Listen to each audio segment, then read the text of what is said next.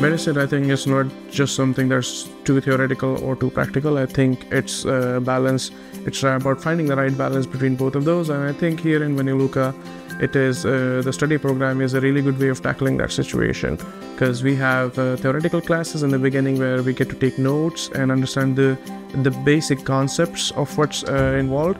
And then we move on to our practical lessons. We, we get to use those notes compare it with hands-on experience with specimens. And uh, i think it creates a perfect balance between theoretical and practical learning. And uh, what helps additionally is that we have the opportunity to be active volunteers in uh, the various extracurricular events that the faculty organizes like on world diabetes day or world health day where we get to set up camps in parks all around the city and we go and do our ta- go and do our tasks like uh, measuring blood sugar measuring blood pressure and bmi and various other things.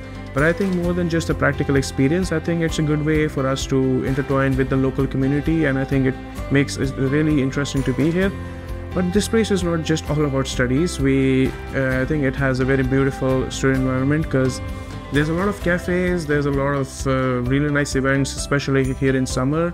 Uh, we have the Motorfest where bikers from all over Europe just come by, and we have bike shows and, and concerts, and we have a, a Demofest in uh, summer, which I think is really beautiful. We have some really big artists that come over every summer and have a really good performance here.